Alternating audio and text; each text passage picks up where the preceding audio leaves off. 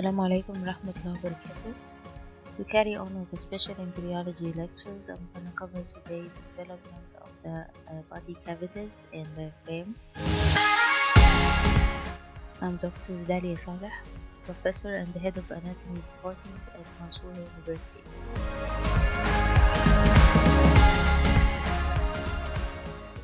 Let's start first with the anatomy of the body cavities in order to know the orientation in the adult body. Uh, in this side view, you can see that we have two types of cavities. A dorsal cavity near the back of the body contains uh, the brain and its meninges, and also a vertebral uh, canal cavity which uh, contains the spinal cord and its meninges. Ventrally, towards the ventral aspect of the body, we have two types of cavities thoracic cavity and abdominopelvic cavity. They are completely separated from each other by the diaphragm, uh, while the abdominal and pelvic cavity are continuous with each other. There is no separation between them. In this front view, you can see the pelvic cavity, the abdominal cavity, and the diaphragm. But here in the thoracic cavity, it is completely uh, separated into three partitions. One in the middle, it's called the pericardial cavity, contains the heart and the great vessels. And on each side, we have the two pleural cavities, and each one contains the lung. Then let's go back to how these cavities are formed. So we will start with the formation of the intraembryonic coelom. The word coelom means a cavity. So intraembryonic coelom means the cavity that lies inside the embryo. In order to understand this, let's go back to the third week of development.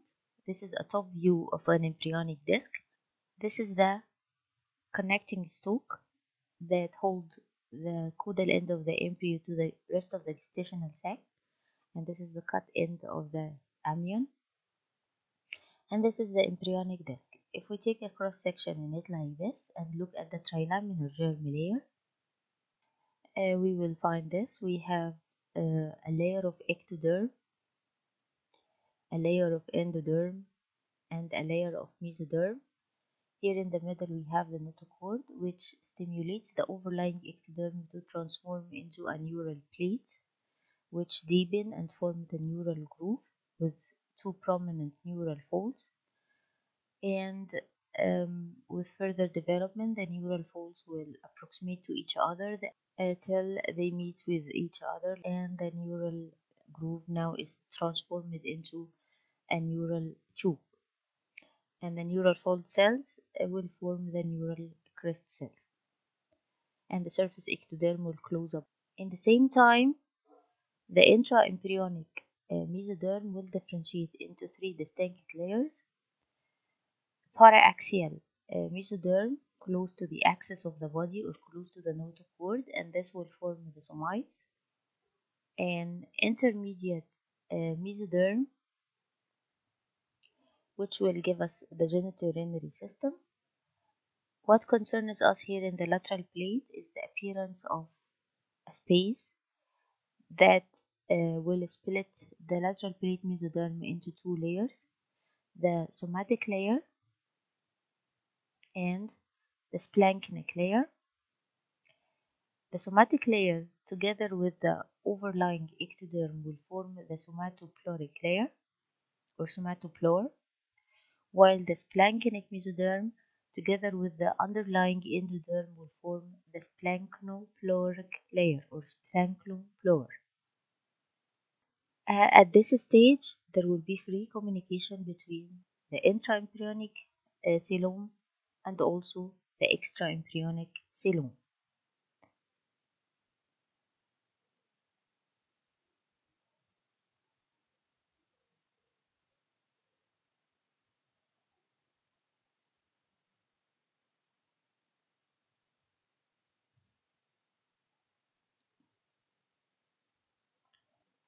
This is the same uh, cut section like we saw in the previous picture, but let's see what happens in the fourth week of development when uh, there is folding of the embryo because at this uh, week there is folding of the embryo or changing in the shape of the embryo into two ways There will be side-to-side folding, we call it lateral folding, and also there is cephalocaudal folding.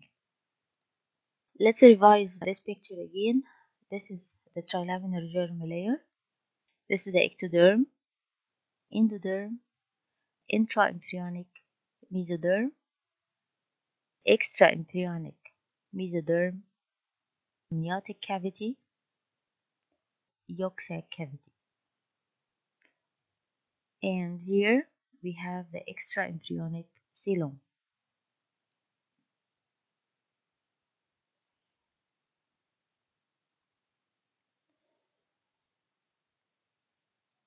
In this picture, you can see uh, the differentiation of the intraembryonic mesoderm into three distinct regions.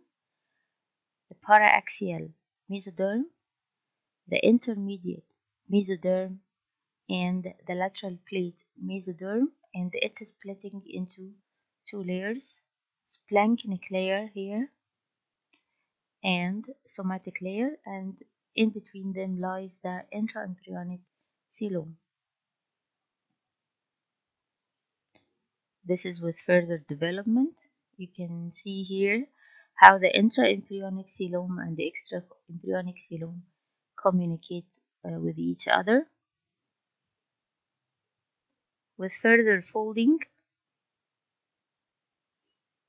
the amniotic cavity expands and the yolk sac, sac cavity becomes smaller and part of it uh, will be incorporated or enclosed within the body of the embryo. Still, there is communication between the intraembryonic uh, coelom and the extraembryonic coelom. With more and more development and more and more folding, the amniotic cavity um, edges approximate to each other. Part of the yolk sac is incorporated inside the body and part is pinched off uh, the body. Till the amniotic cavity completely surrounds the embryo and the ventral aspect of the embryo now closes completely. So in this picture you can see now uh, the um, intraembryonic coelom enclosed within the abdominal region. So this is the peritoneal cavity and inside it lies the intestine.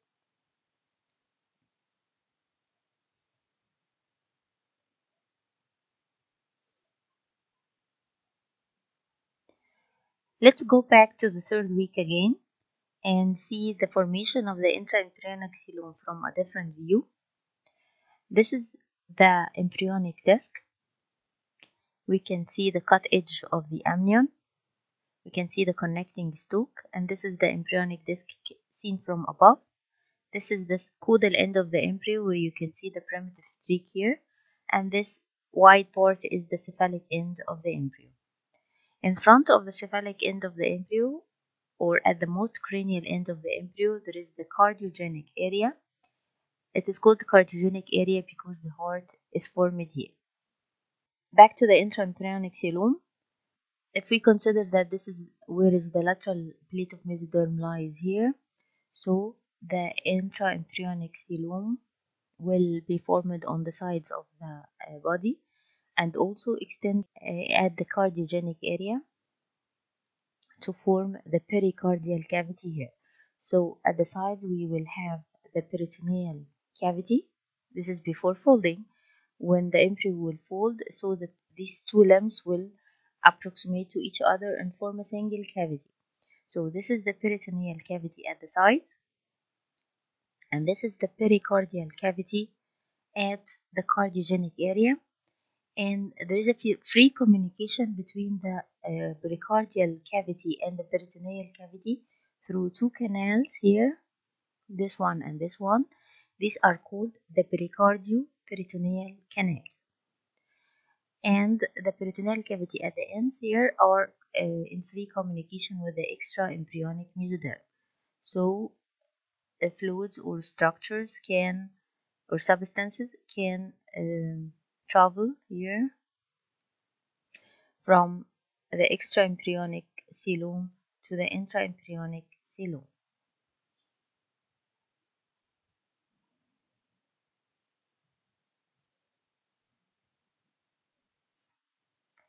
If we take a section in this region, we're gonna end up with this picture. Here you can see um, from cranial to caudal, we have the cardiogenic area here. The pericardial cavity is dorsal. Ventral to it lies the developing heart. And this is the neural tube. Let's just rotate it like this in order to um, see it more in a better way. So this is the developing brain. It expands and when it expands it will cause the cephalic rotation of the embryo. This is the area where is the future mouth will be oropharyngeal membrane.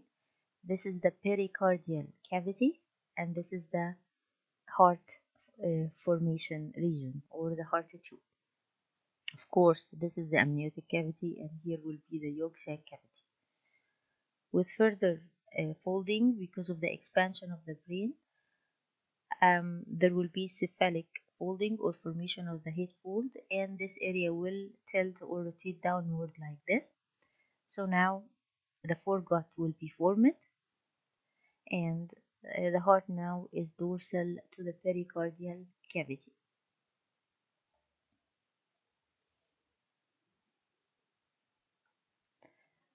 Let's see it again from another view.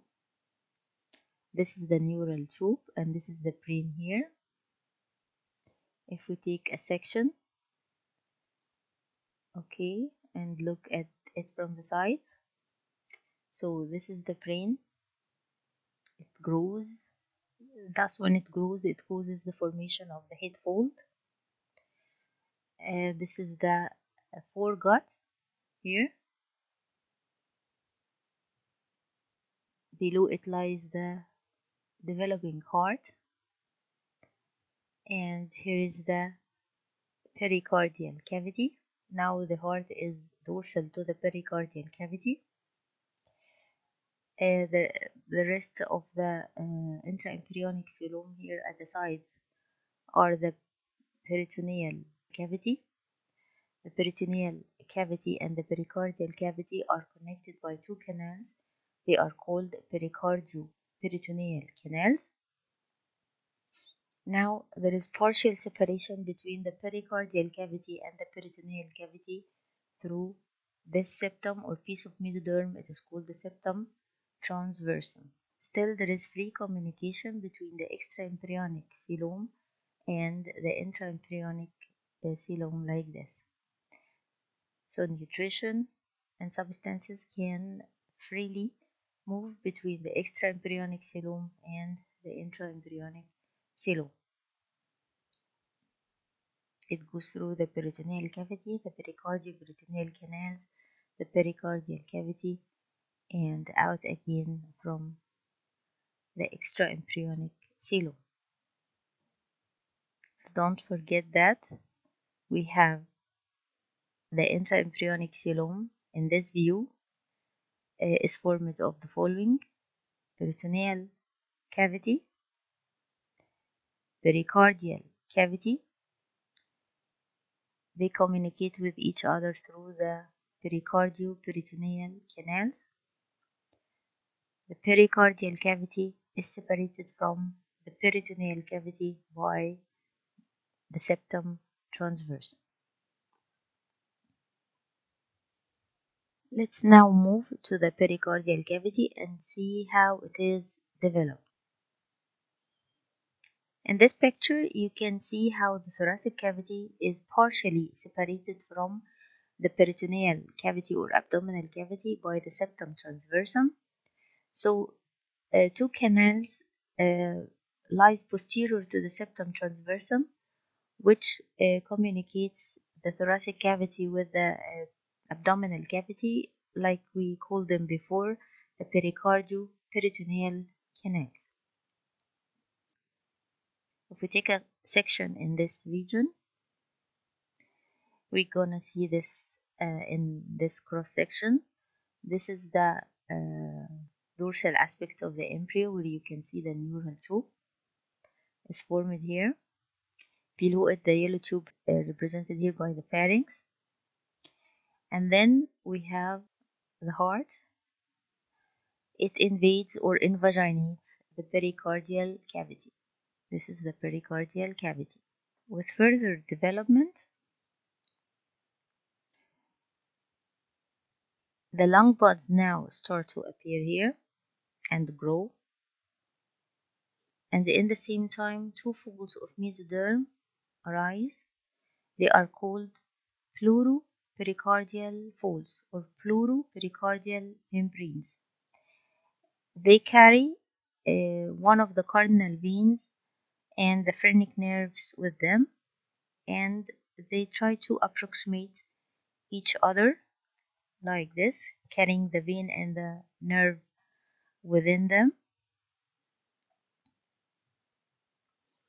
And when they approximate more and more they start to join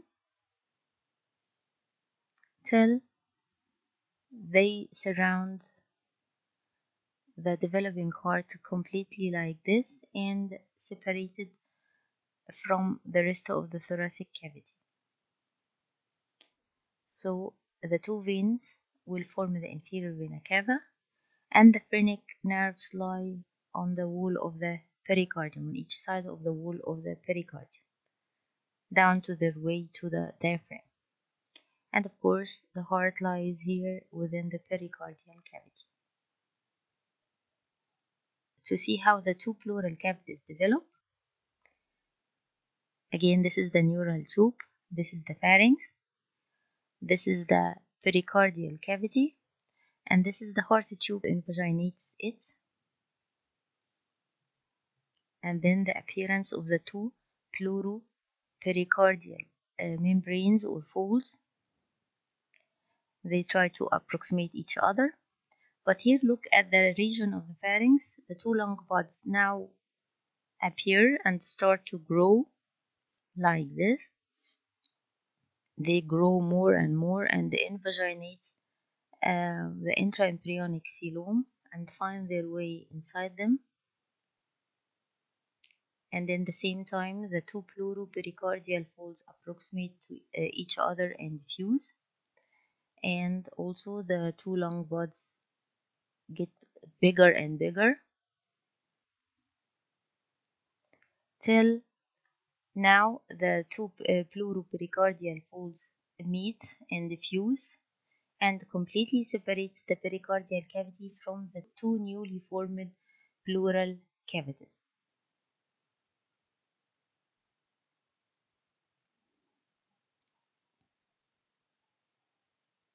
Now the pleural cavity grow on the sides and also in the uh, front. So at the adult stage we can see that the lungs surround uh, the heart from both sides and also uh, surround it uh, or cover it from the front as well. To see uh, the separation of the pericardial cavity from the pleural uh, cavity, let's look at this diagram. This is another view. You can see a cross section here the foregut and the two lung buds originate from it. Original pericardial cavity, this big one, now separates into two by uh, the appearance of the pleuropericardial folds. Uh, they will approximate with each other and fuse. Thus, the separation of the pericardial cavity from the two pleural cavities will take place. In this picture, you can see how the thoracic cavity is partially divided from the abdominal cavity by the septum transversum. Still, we have two canals communicating uh, the thoracic cavity with the abdominal cavity. We call these canals the pericardio uh, peritoneal canals. Why we call it like this? Because originally we have only the pericardial cavity and the peritoneal cavity. Why we have only pericardial cavity? Remember that the heart is the first organ to develop. That's why this cavity was called the pericardial cavity. So we have these two canals, the pericardio peritoneal canals, uh, freely communicating the thoracic cavity with the abdominal cavity. After uh, the appearance of the lung buds and the develop and the separation of the pericardial cavity into pericardial cavity and two pleural cavities. Now we need to complete uh, the separation of the thoracic cavity with the abdominal cavity and we need to close this uh, pericardio-peritoneal canals, the membrane that will uh, cover these openings together with the septum transversum. Now we will call it the pleuro-peritoneal membranes.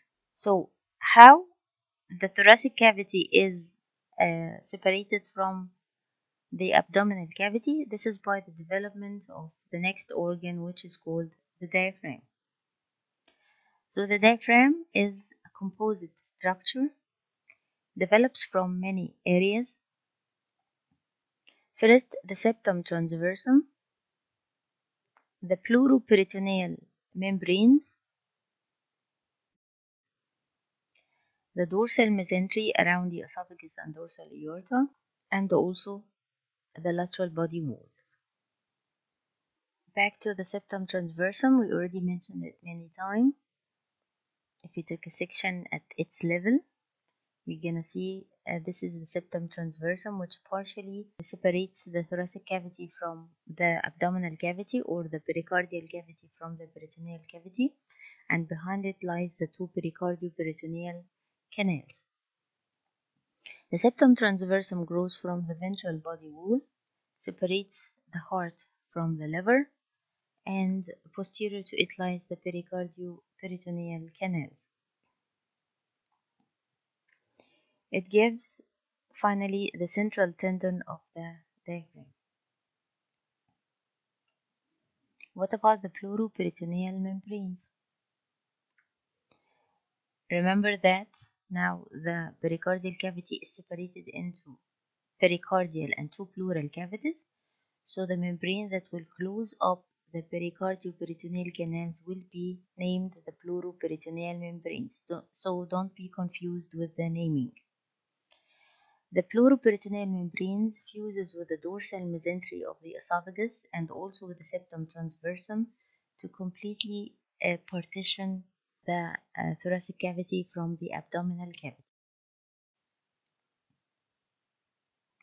So in the adult, they will form part of the posterolateral uh, aspect of the diaphragm. Uh, the third component is the dorsal mesentery of the esophagus and the, the mesentery that surrounds the aorta.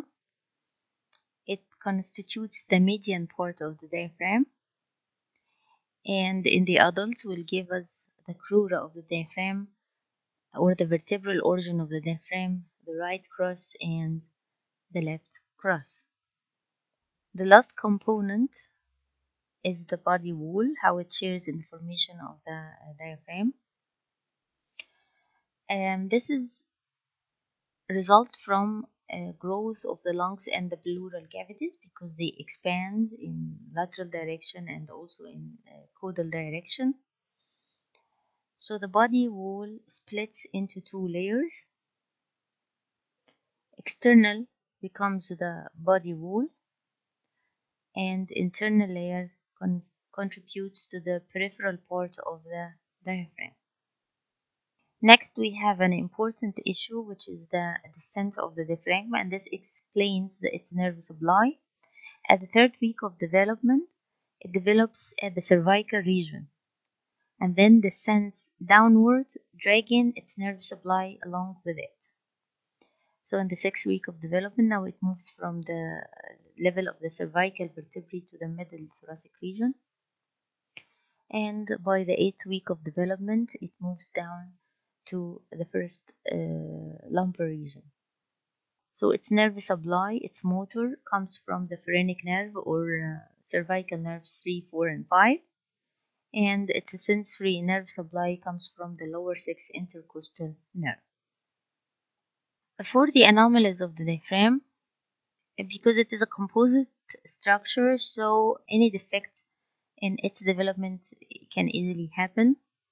So we could have a posterolateral hernia when there is defect in the pleuroperitoneal membranes, or a retrosternal hernia when there is defect at the anterior attachment of the diaphragm to the sternum, Um, this will lead to the herniation of the abdominal organs up in the thorax and collapsing of the lungs and also shifting of the heart. In this view, you can see a side view here where you can see the esophageal opening surrounded by the crus uh, of the, diaphragm. And of course, below it lies the abdominal part of the esophagus and the fundus of the stomach. If there is incompetency in this opening, uh, we will end up with what's called hiatal hernia.